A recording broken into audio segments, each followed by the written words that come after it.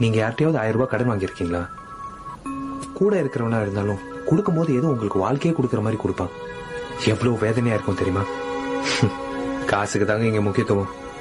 காசே இல்லாதவங்க பத்து ரூபாய் டாப் அப் பண்ணா கூட நாலு ரூபாய் டாக்ஸ் பிடிக்கிறான். அதே இருக்கிறவன் ஐநூறு ரூபாய் டாப் அப் பண்ணா ஃபுல் டாக் டைம் இதாங்க நம்ம நாட்டோட நிலைமை.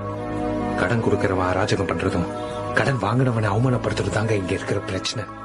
கடன் வாங்கினவனுக்கு தான் அந்த வலி